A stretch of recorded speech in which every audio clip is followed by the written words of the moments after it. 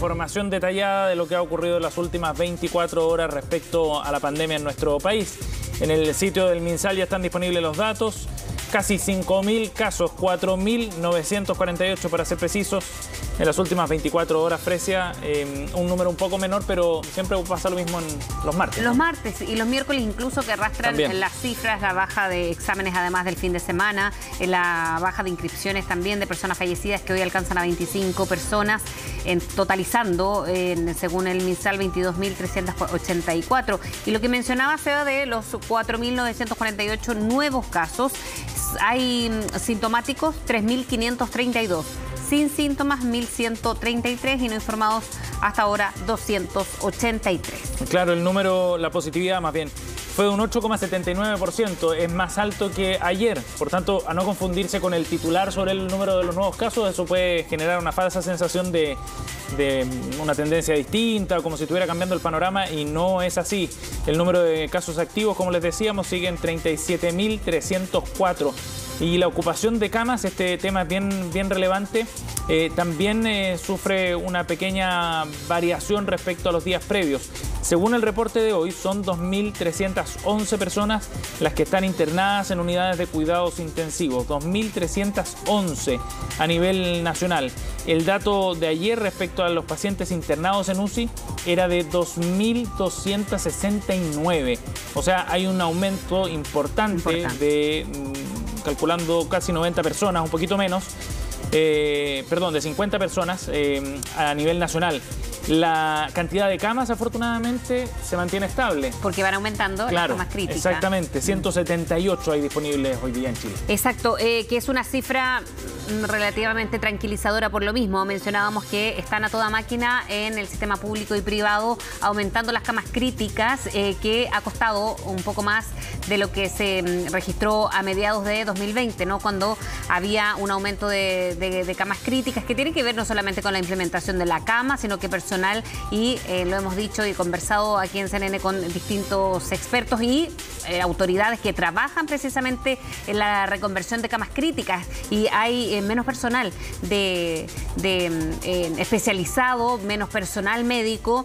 No solamente están cansados, se han presentado muchas licencias en los últimos meses, ya sea por eh, fatiga, ya sea por estrés, en fin. Hay un colapso que lo hemos visto, pero afortunadamente el número de camas críticas se mantiene en las últimas semanas, 178, y debiese ir al alza. Hay un máximo y hay plazo, pero en todo caso hoy em, entiendo que vencía ese plazo para el sistema público y privado, así es que eso se hace aún más relevante. Cuando uno ve la evolución que ha tenido el número de personas internadas en UCI en el último mes, en marzo, es bien impactante la cifra.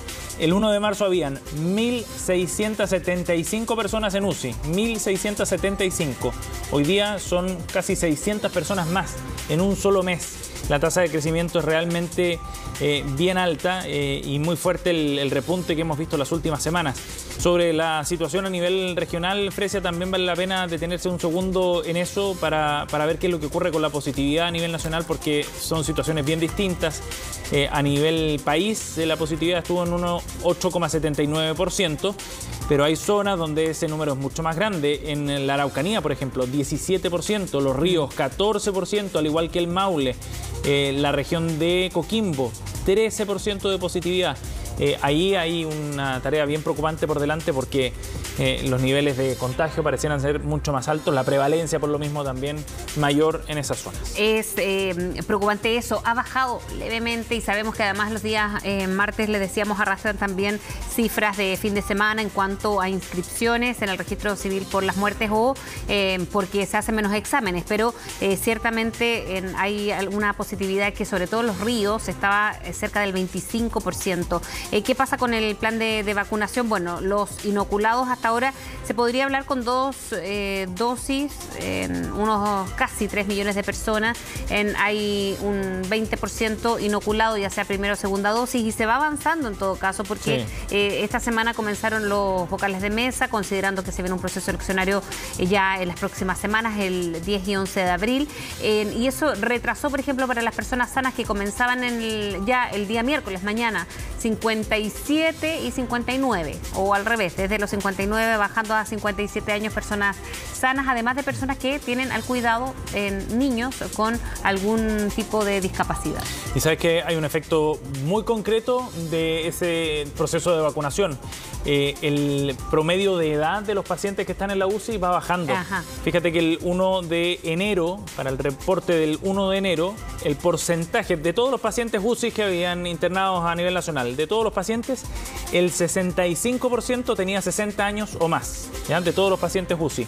Hoy día ese tramo de edad, de 60 hacia arriba, llega solamente al 48% del total de pacientes UCI. O sea, ha habido una disminución importante. Hay mucha más presencia de pacientes menores de 60 años eh, que de eh, mayores de 60. Y eso eh, obedece fundamentalmente a, la vacunación. Y ahí se va viendo quizás cómo baja esta edad, mencionabas tú, pero también alerta ¿no? a muchas personas porque incluso hay muchas muertes, lo han dicho los propios especialistas, han disminuido en la edad y se agravan personas más jóvenes. Entonces, claro, baja en el aumento de personas de adultos mayores internados y de gravedad sobre todo, pero también eso va disminuyendo. Sumando además a las personas que llevan mucho tiempo internadas, que eso es lo que explican el número de fallecidos que aumenta también y así lo han explicado las autoridades sanitarias.